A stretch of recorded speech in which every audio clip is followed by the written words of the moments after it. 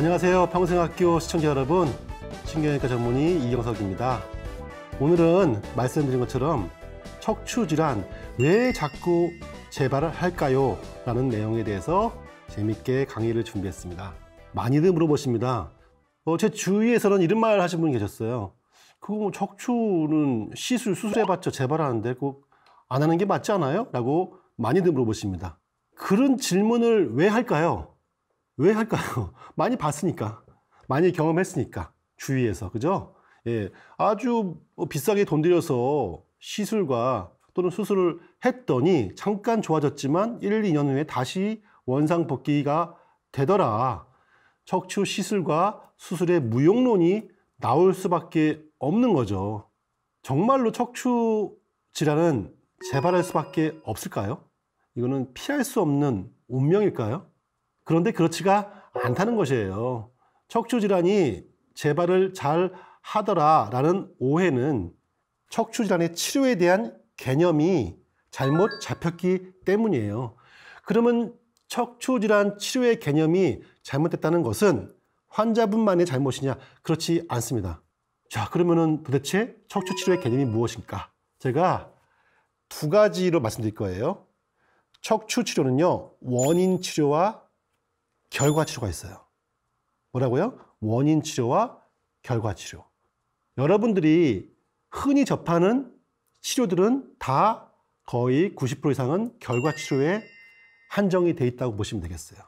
그러면 무엇이 원인 치료고 무엇이 결과 치료일까요?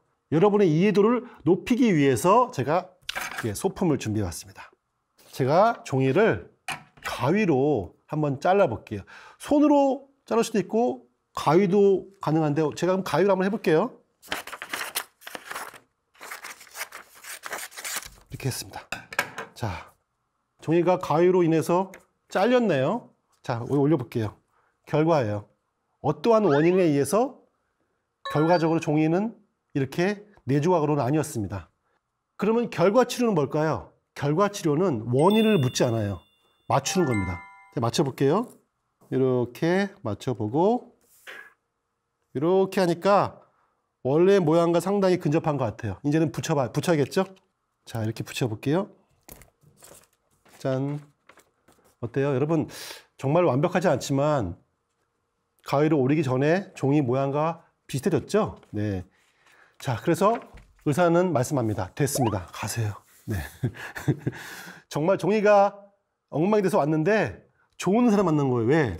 저는 이 종이를요, 1분 만에 붙였어요. 그런데 안 좋은 의사는 한 5분도 걸릴 수 있을 거예요. 여기서 의사의 능력이 좀 생기기도 해요. 어떤 의사는 빨리 맞춰서 깔끔하게 붙여. 저는 보니까 이게 좀 틈이 보이네요. 덜 깔끔한 의사가 됐어요. 네, 좀더 깔끔하게 꼼꼼하게 붙여서 원래의 모양과 거의 유사하게 만들어 놓고 예, 이제 태어나세요. 뭐죠? 결과치료죠. 이거는 척추관절 분야에 많은 말은 아닙니다. 여러분에서 내과도 마찬가지입니다. 당뇨, 고혈압. 당이 올라갔고 고혈압 올라가면 낮추는 거죠. 그죠? 폐렴이 걸렸어요. 폐렴을 약을 써가지고 고치는 거죠. 무슨 말이에요? 전부 결과에 대해서 다시 원래대로 가도록 도와주는 결과 치료다. 자, 그럼 척추 치료는 뭐죠? 맞추는 거는 네, 수술일 수도 있고요. 시술일 수도 있고 아니면은 주사와, 주사와 약일 수도 있습니다. 자, 감사합니다. 감사합니다. 집에 갔어요. 갔는데 다시 오신 거예요. 다시 오셨어요. 한 5개월 만에. 화내죠, 의사가.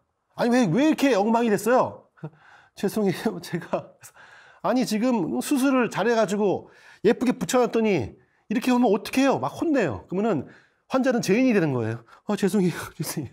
뭐가 죄송한지 모르겠어요. 근데 항상 죄송하다 그러세요. 항상. 근데 죄송합니다. 의사는 혼내고 다시 맞추죠. 환자의 몸은 점점 점점 점점 점점 누더기가 되고 있습니다. 이것이 뭐예요? 척추 질환은 재발하잖아요.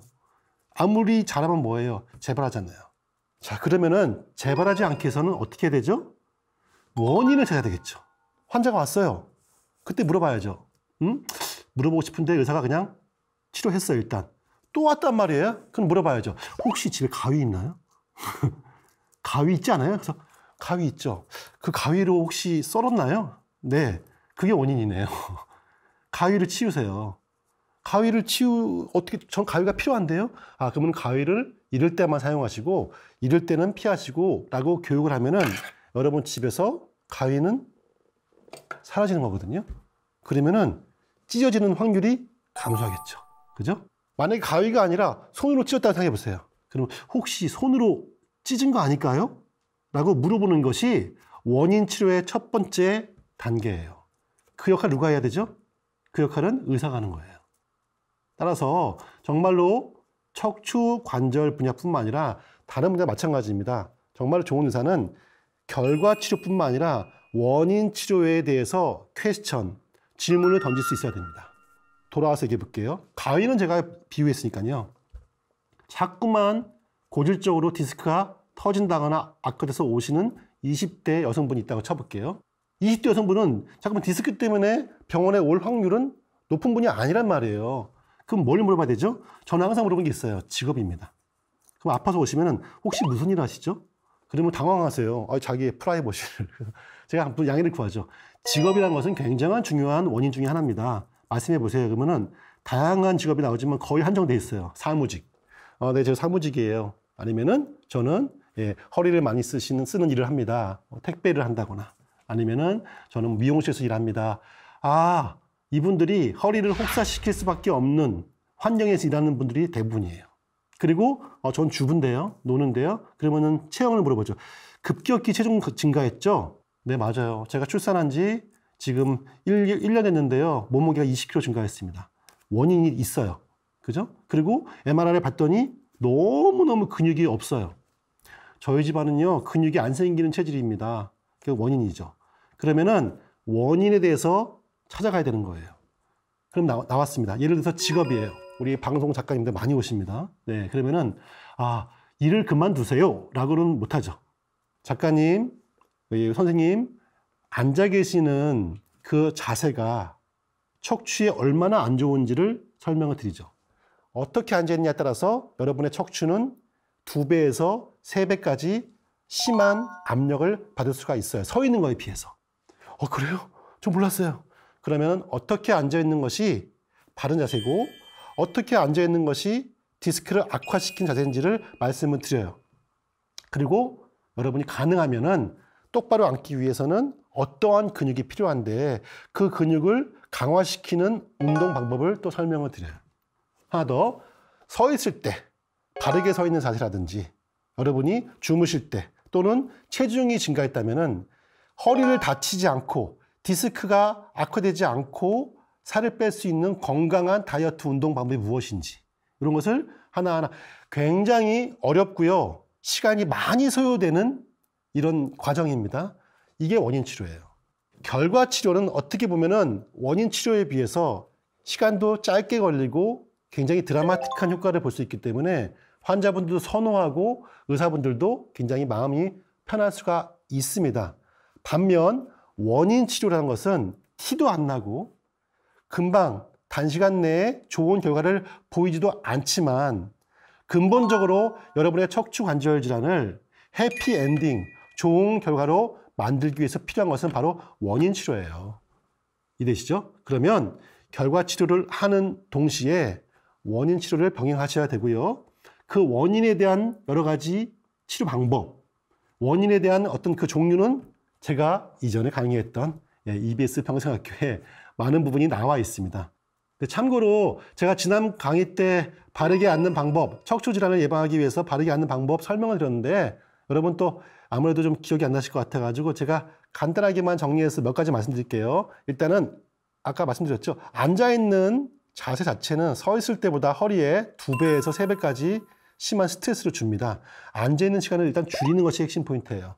그래서 아무것도 아닌 것 같지만 30분 정도 앉아있다가 일어나서 한 5분 정도 허리를 푸는 이러한 습관의 변화, 작은 습관의 변화가 허리에 굉장히 도움을 줍니다. 왜냐면은 앉아있을 때 계속 특정 근육에 스트레스 주거든요. 그러면 근육이 큰 압력과 스트레스 받게 되면 힘을 못 쓰게 되고 그 힘은 척추뼈로 갑니다. 따라서 30분마다 일어나서 20분마다 일어나서 근육을 풀어주세요.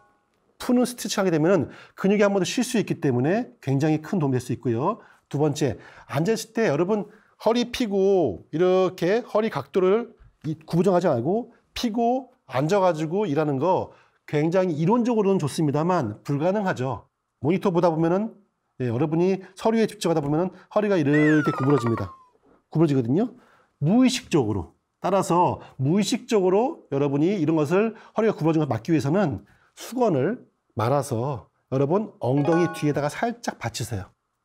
엉덩이 가운데 말고요. 엉덩이 뒷부분에 살짝 끼워 넣으세요. 넣으시면은 여러분이 허리가 뒤로 이렇게 무너질 때 수건 때문에 딱 받친 느낌이 들거든요. 아, 내 허리가 무너지는구나라는 그런 인식을 갖게 됩니다.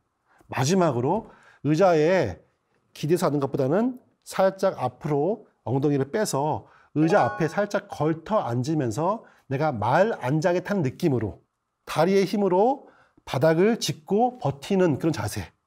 그 자세가 허리에 굉장히 도움을 줄 수 있습니다. 척추 질환 치료는 원인 치료와 결과 치료가 있다. 대부분의 치료는 결과에 한정되어 있지만 정말로 중요한 치료는 원인 치료다. 원인 치료는 무엇이다? 여러분의 척추 관절을 망가뜨리는 직업, 그리고 자세, 아니면은 체형 변형, 체중 증가, 이런 거에 대해서 원인을 찾아야 되고 찾는 그런 노력은 여러분께서 하셔야 됩니다. 그리고 나의 한번 생활을 리뷰해 보시고 그걸 고치기 위한 여러 가지 공부, 많은 매체에 나와 있으니까 열심히 공부하셔서 병행해 가신다면은 척추 질환 완치가 가능한 질환입니다. 다음 시간은요 척추 관절 병원비를 아끼는 꿀팁에 대해서 재밌게 강의해 보겠습니다. 감사합니다.